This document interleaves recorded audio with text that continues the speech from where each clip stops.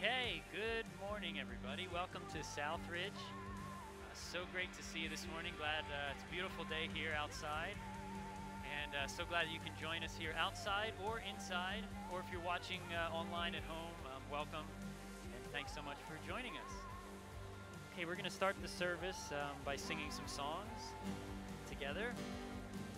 And uh, first song is called Be Still. And uh, the second song is The Blessing. And if you've been around Southridge uh, over the last couple months, you've been tuning in, uh, these are songs we've been singing.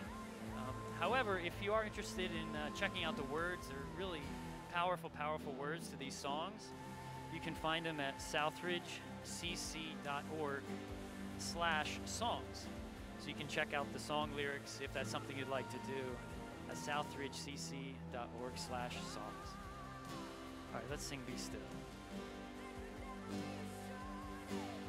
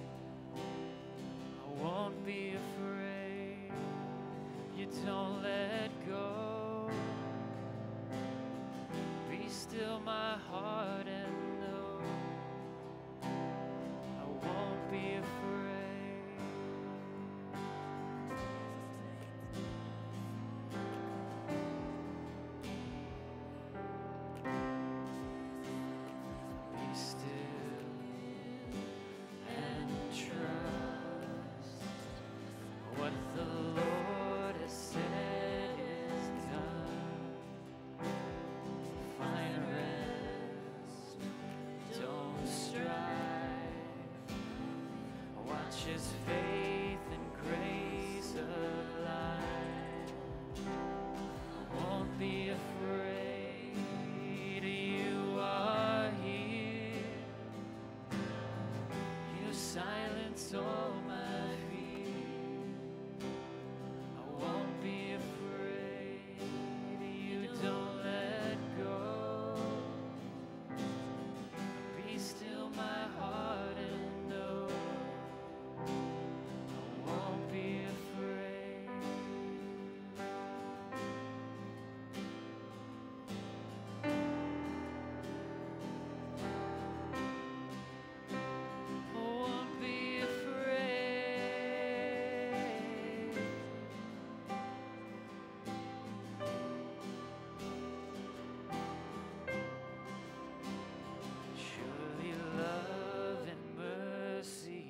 your peace and kindness will follow me, will follow me. Surely love and mercy, your peace and kindness will follow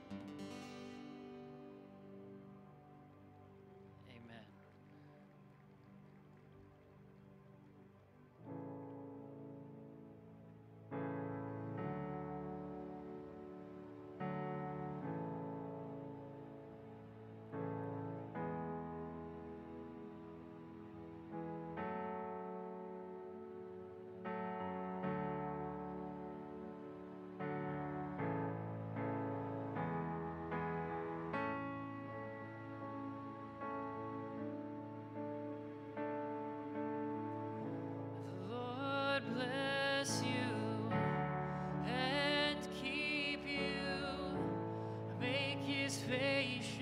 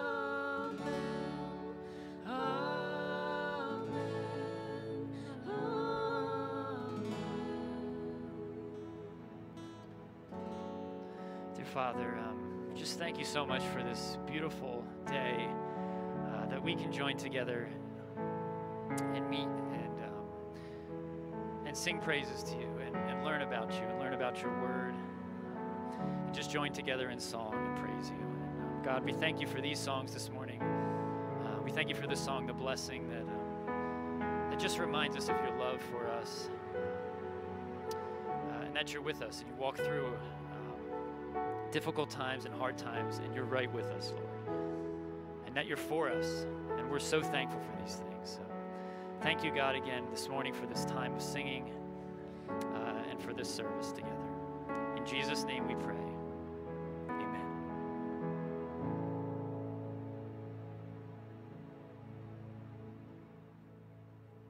Hello, good morning, and thank you, worship team, for leading us in worship this morning. My name is Julia Arthur, and I am an SR Students leader here at Southridge, and I'm excited to be able to share opportunities with you this morning.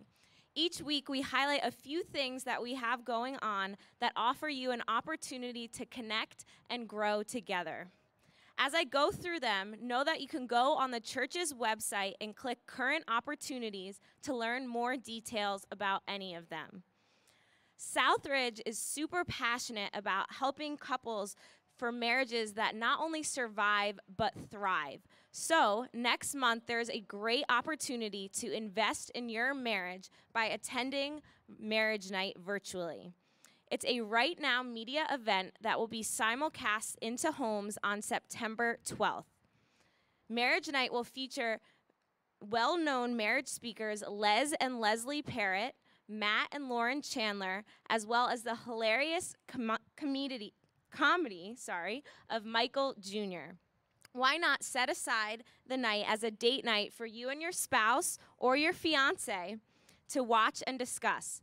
Registration is open now, is easy, and it's affordable. One of the things that God has really revealed in this time of the pandemic is how much we really need each other and community. One of the phrases that we often see throughout the Bible is one another. It is very clear that we simply cannot fulfill God's vision for growth in our lives and our faith alone. We need each other and we need community. SR Groups is an awesome opportunity to be able to form friendships with one another, to root yourself deeper in the Word of God, as well as get equipped to redemptively impact the community around you. This fall, SR Groups will be available both on and off campus as well as virtually. Sign-ups for SR Groups will be available beginning next Sunday online. We'd love to have you sign up as well as bring those you know to sign up as well. Baptism is a very important milestone in anyone's spiritual journey. But what is baptism and why is it important? These are some questions that we will be addressing in understanding baptism. So, whether you are curious about baptism, want to know more about Southridge's convictions, or are interested in getting baptized, understanding baptism is awesome opportunity for you. The next session will be September 13th on the church's patio outside. Again, you can click on current opportunities on the church's homepage to learn more details or sign up about any of the things that I discussed this morning. Thank you so much for your time, and now I'm going to hand it back to the worship team. All right.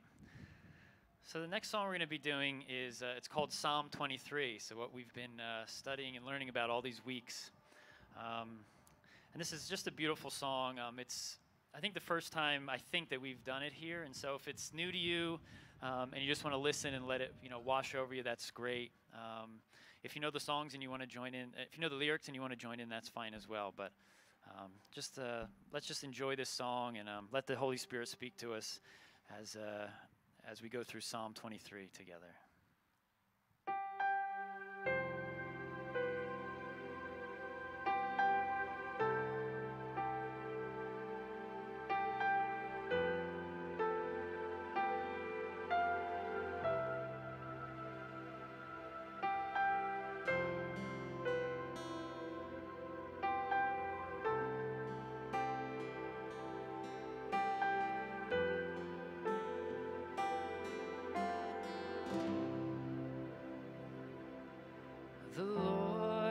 My shepherd, I shall not want. In green pasture, he makes me lie down. He restores my soul and leads me on for his name, for his great name. Surely goodness,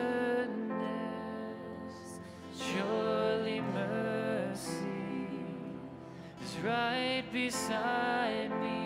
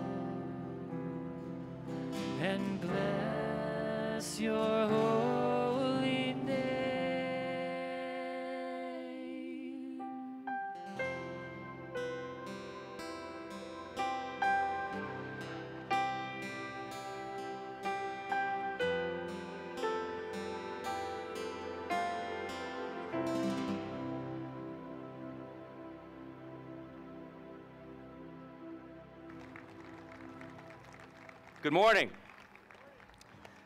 I, uh, I don't know if you've listened to the last couple songs, but um, I basically indoctrinated myself, saturated myself with these three songs the last week.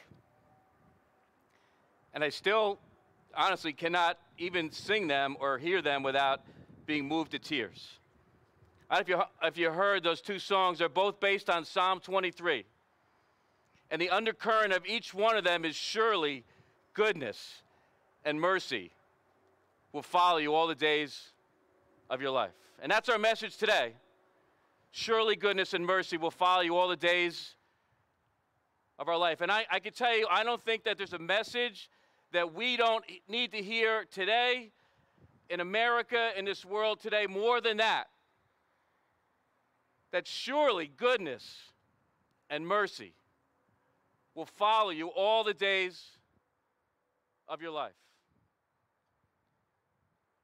Mike and Donna just sang that so beautifully, and I just can't imagine what their house is like to be able to hear music like, like that in their house, right? But how powerful to hear song, and it's so strange for me to be here today and people can't sing or people don't want to sing or whatever. So I would encourage you, we're going to finish at the end with the blessing. I would encourage you to sing if you feel so led to sing and look in another direction from somebody. But there's nothing more powerful than the message in music. It's way more powerful than what somebody has to say. God speaks powerfully through music. And, you know, we've been talking about the Psalms, and the Psalms are the hymnal of the Israelite people. The Psalms are songs and poems that were written thousands of years ago and sung by multiple people. We've concentrated now on Psalm 23. I'm not a grandfather yet, though my daughter, who was just up here, just got engaged. So let's give her a hand. There we go. There's the man of her dreams. One day, hopefully, I'll have a, a grandchild. But your grandparents always would tell you, you know, you need to, you need to live life to learn what life is about. And I know that, that David wrote Psalm 23, and he wrote Psalm 23 from experience. David had lived through a lot. David had had Saul tried to kill him. David had been a shepherd in the fields. David had been a warrior. David had been chased down. And yet, David could look back in his life, and he went through the valley of the shadow of death. He looked back in his life, and he said, Surely goodness and mercy have followed me all the days of my life.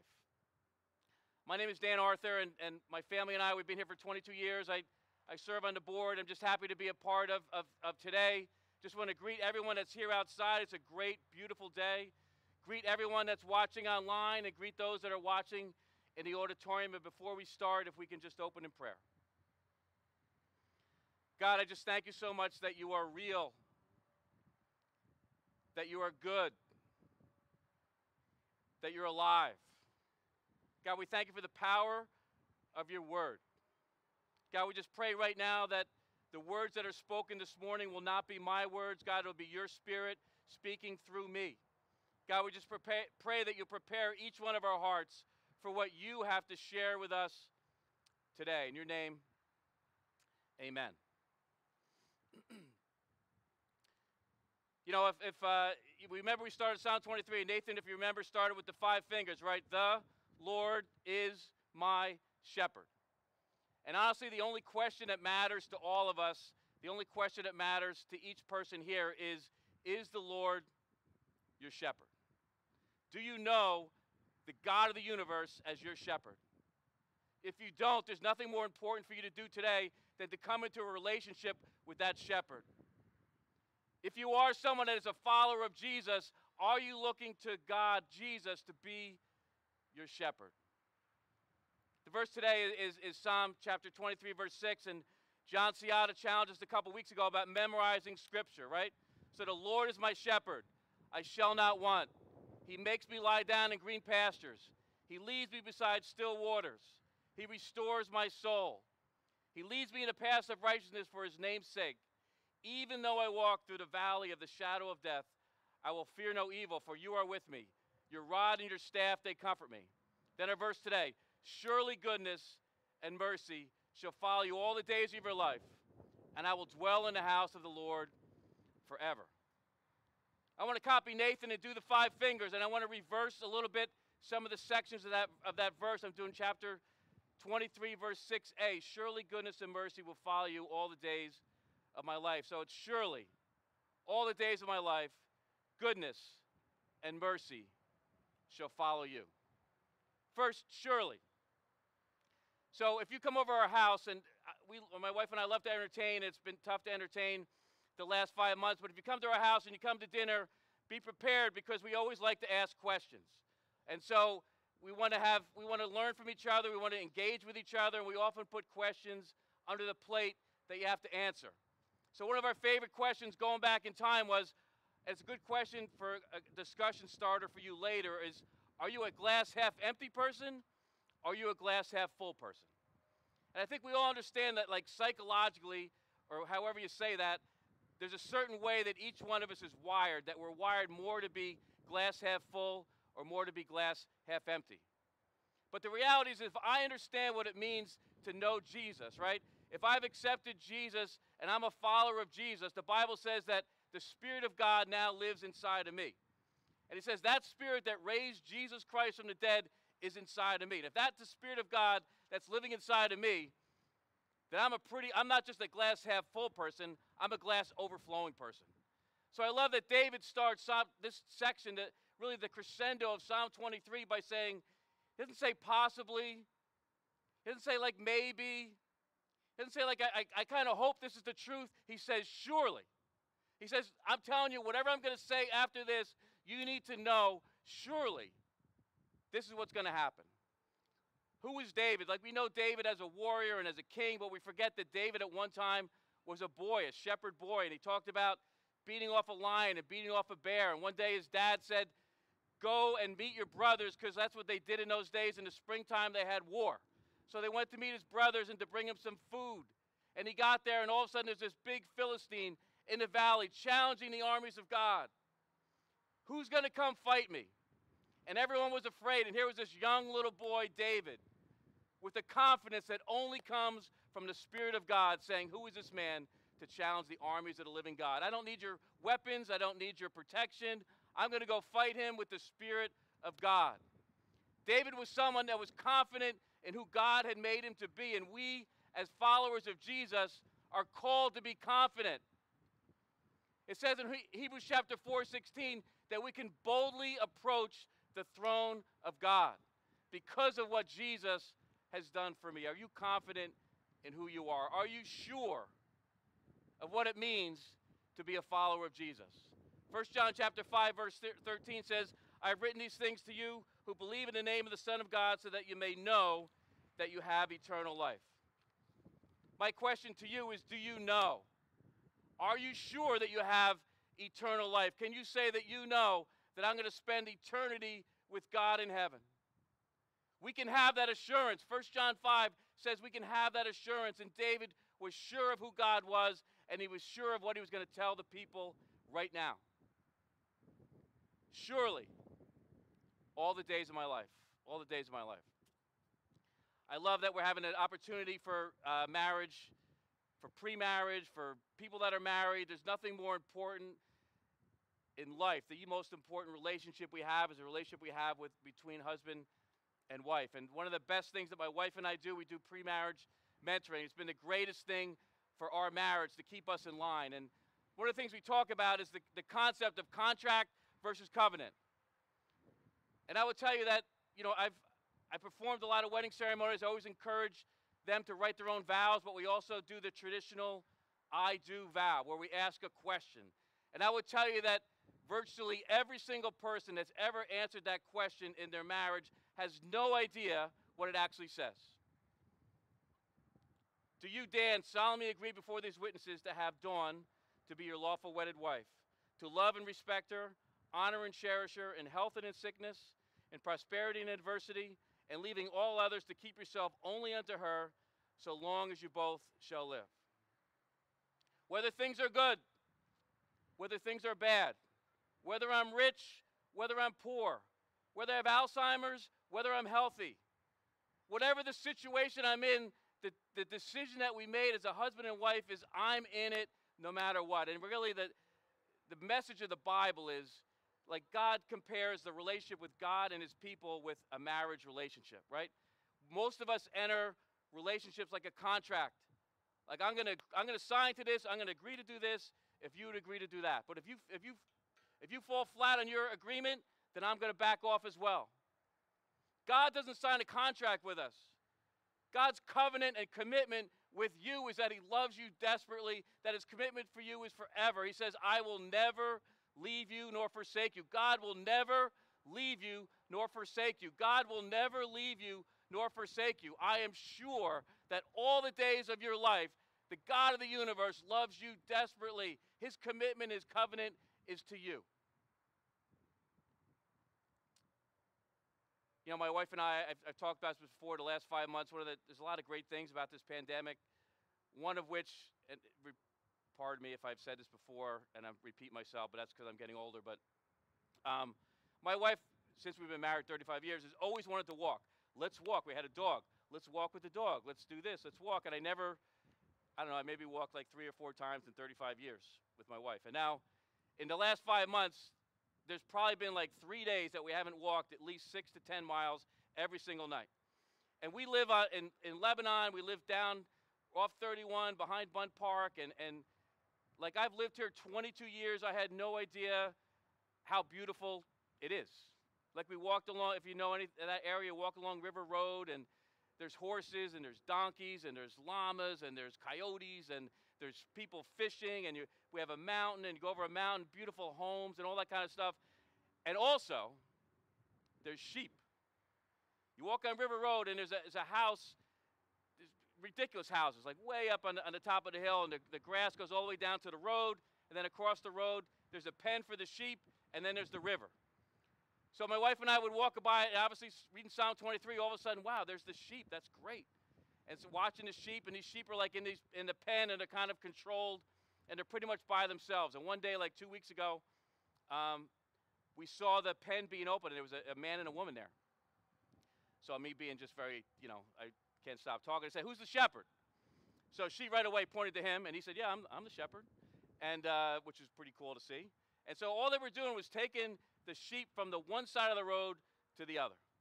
And I could tell that it was a, it was a process to figure out, I don't know, it was like 30 sheep, how to get the sheep from here to there. And there's, nobody on the road, there's no traffic, a couple bikes, a couple people walking, but it was difficult for them to get the sheep together and walk across the road. A lot of the commentators, when they, when they see this section, they talk about the fact that the sheep that we're talking about are not sheep like on River Road in a pen. These are sheep that are being led by a shepherd in the wilderness, on the mountains, in the hills.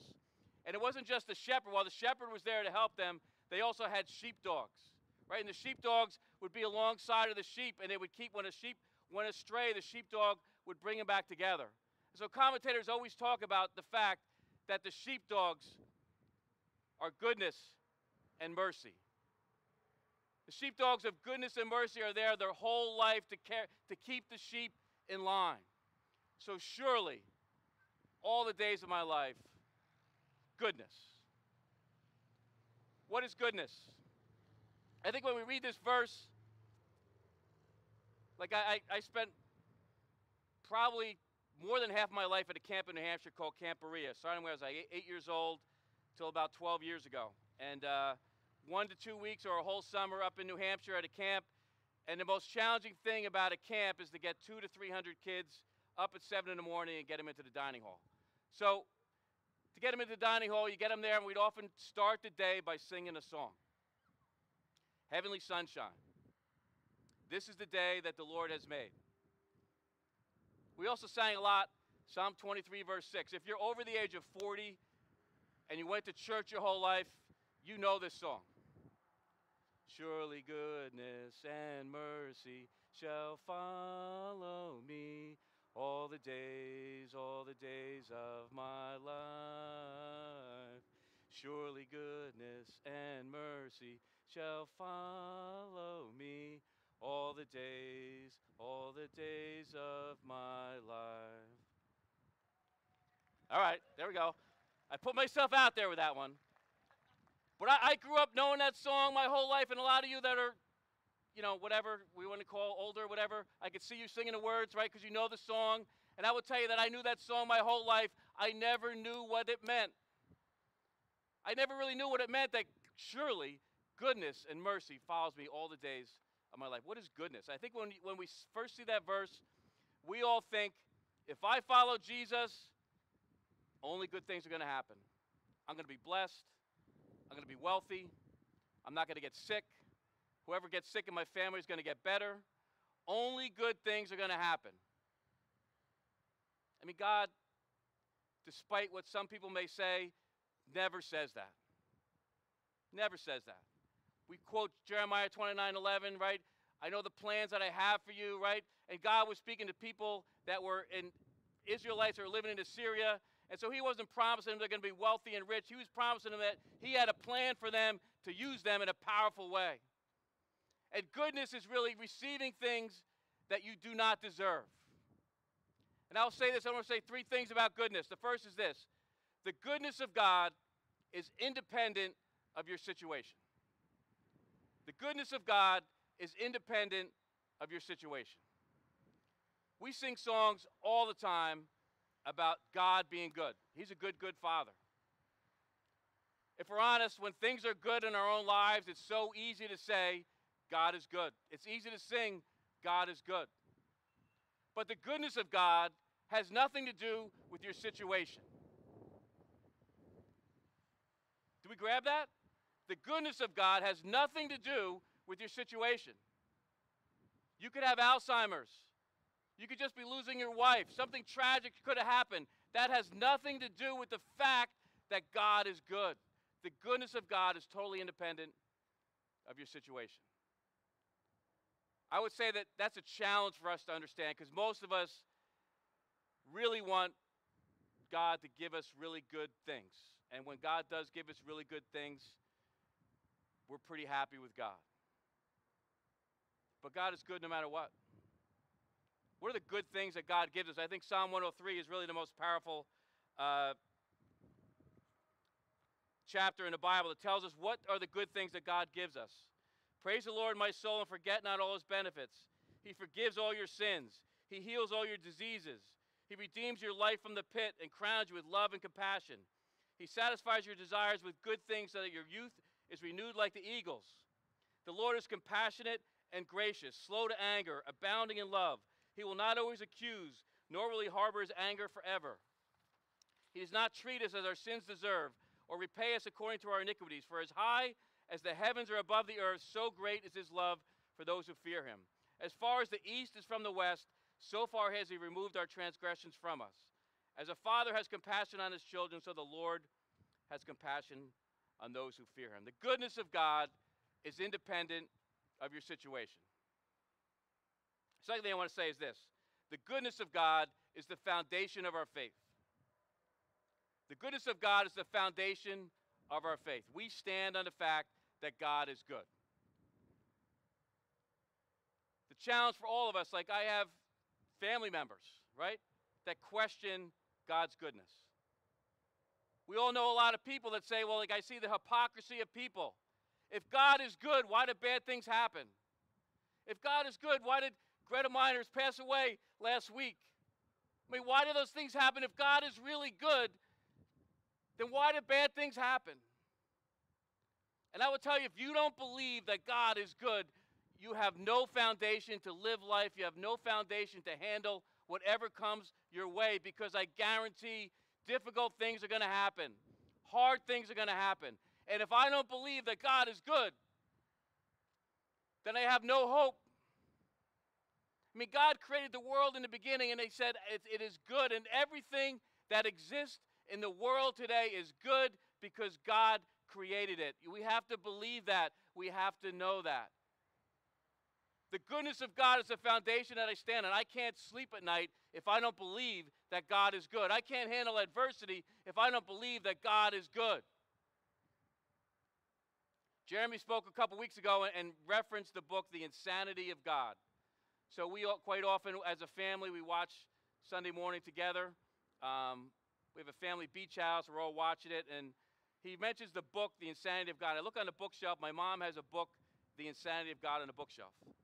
Um, I think my dad got it years ago. It's just been sitting there, never been read. I took that book off the bookshelf after Jeremy spoke. I didn't put it down until I was done. I would encourage you to read that book. It's an incredibly powerful book about a man who went all over the world and he interviewed people that were persecuted Christians, people in Russia, people in Ukraine, people in Africa, people in China, and asked them like, "Why are you doing what you do? Why do you live life the way you do?" They don't they don't receive the good things that we often have here. Our perspective of Christianity is often, if we're honest, Americanized. So what, why are you following Jesus and willing to give up everything? And here's what, here's what he said. All over the world, we encountered committed followers of Jesus who trust even his toughest teachings. They understand that anyone who wishes to save his life must first be willing to lose it. They're willing to take that risk because they believe that ultimately good has and will defeat evil. Love will finally overcome hate, and life will conquer death forever by the power of our resurrection faith. They know that the final chapter of the greatest story ever told has already been written, and they know that in the end and for all eternity, God will have his way. I love that. These people said, you know what? I'm willing to give up my wife, my children, my job, my house, my life. I'm willing to give up my life because I believe that good has and will defeat evil. That Jesus Christ, 2,000 years ago, came down, died on the cross, and rose again. And at that moment in time, good defeated evil. And the battle is over. And we know that one day we're going to live eternally with Him. And so I need to believe and I need to live my life motivated by the fact that God is good. One of the verses that again that we quote a million times that we don't probably really understand is Romans 8:28. God works together all things for good for those that love him. I think it's easy for us to use that verse like any verse in the wrong way. What God is what is what does that mean? That means that no matter what happens, if I believe that God is a good God, that every situation that happens, God works it together for good. If we're honest, you may not see that now. You may not see that in your life. I guarantee that one day, if you know Jesus and we get into heaven, we will see what happened. We will see the goodness that happened. But God says, because He's a good God, whatever the situation that happens, He's going to work all things together for good. Do you believe that? The goodness of God is independent of our situation. The goodness of God is the foundation of our faith. And finally, have you experienced the goodness of God? Have you experienced the goodness of God? I grew up in Cranford, New Jersey, and uh, I had a guy named Jerry that I grew up with. And uh, Jerry and I played basketball together on the playgrounds in Westfield and Cranford for years, played in school together. Um, and then I, w- I went away to college. I went away, went away to college. I remember I wrote Jerry a letter explaining my faith and explaining like just who Jesus was and what I really wanted him to believe. And, um, and then over time, I've seen him a couple times ever since then. At the same time, I grew up in a church, and there were two other guys I grew up with. One was guy's name was Mike. Mike ended up being a, uh, one of the pastors at Liquid, and Mike also played basketball at Westfield High, five, I mean Westfield YMCA, five o'clock every morning, and he played with Jerry Paradiso. And he shared the good news of Jesus, Jesus with Jerry.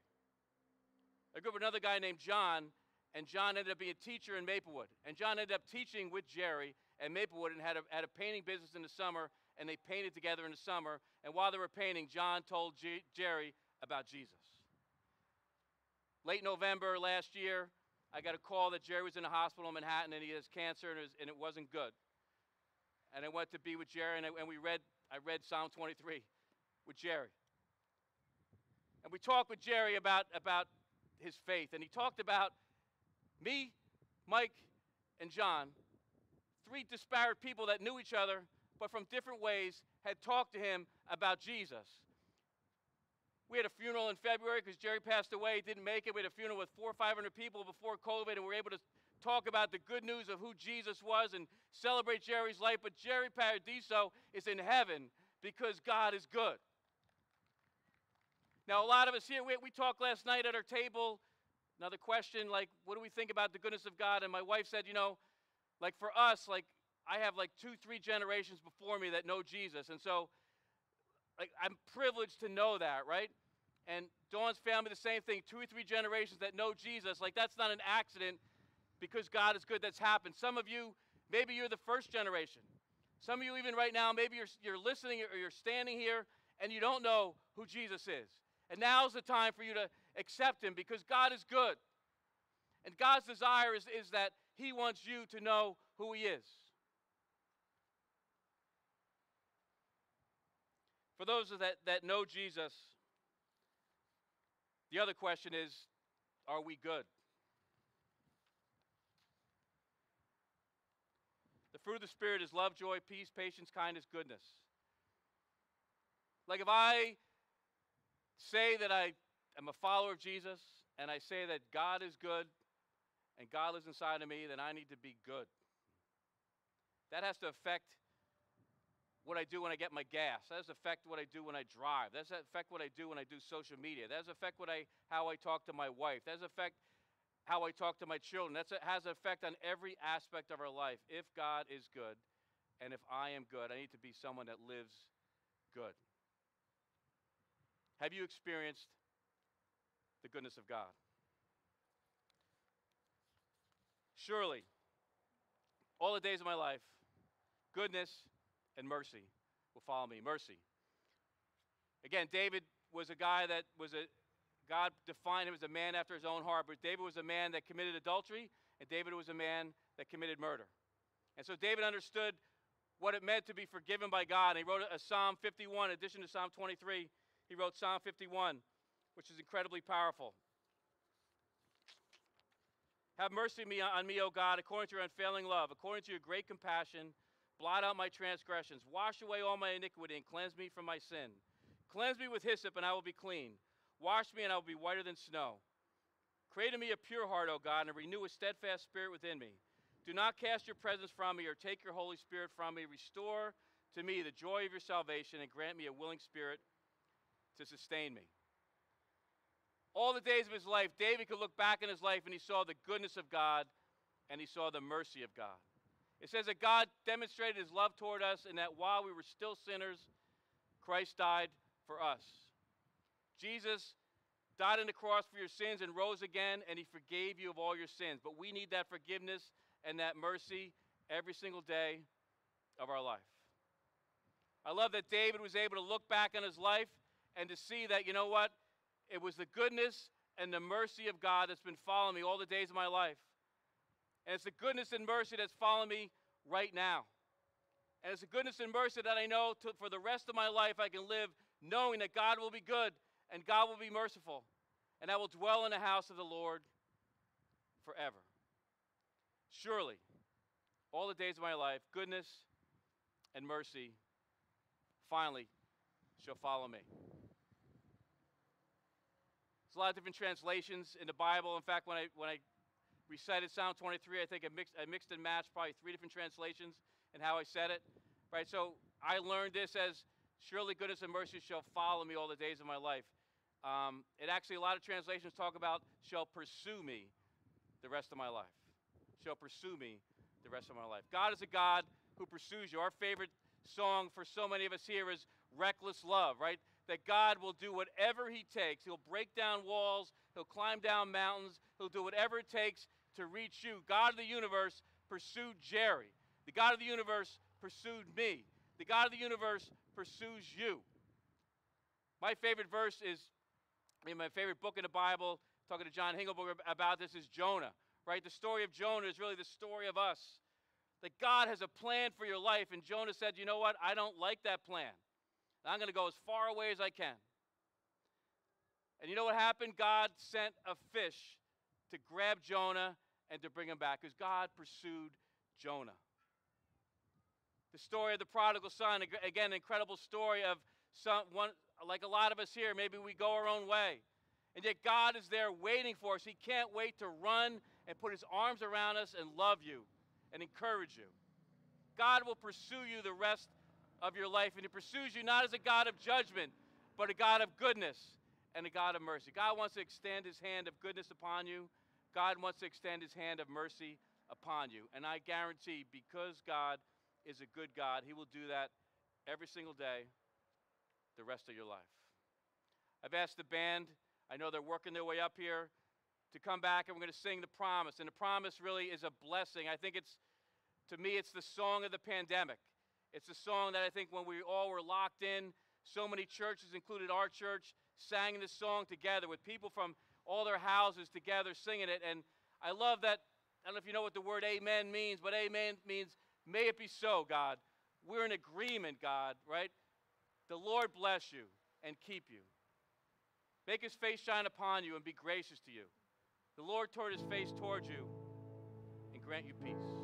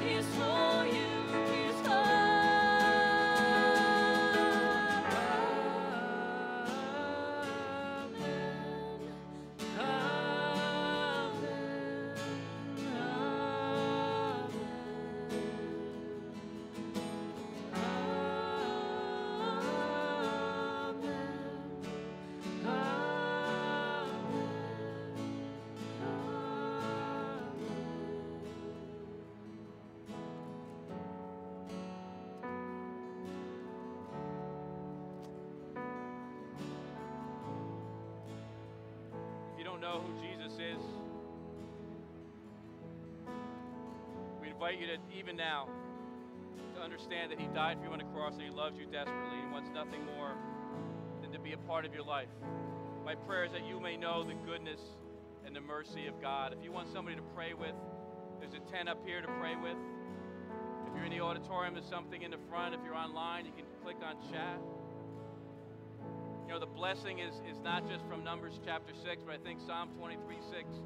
God's blessing you with His goodness and with His mercy. And God bless you with His goodness and His mercy every single day. My prayer is that, that you will grab hold to that, that you will understand and believe and trust that God is good. May God who's above you watch over you. May God who is beside you comfort you. May God who is beside you, behind you pick you up when you fall. And may God who goes before you guide you in all that you think and you say and you do. God bless you all.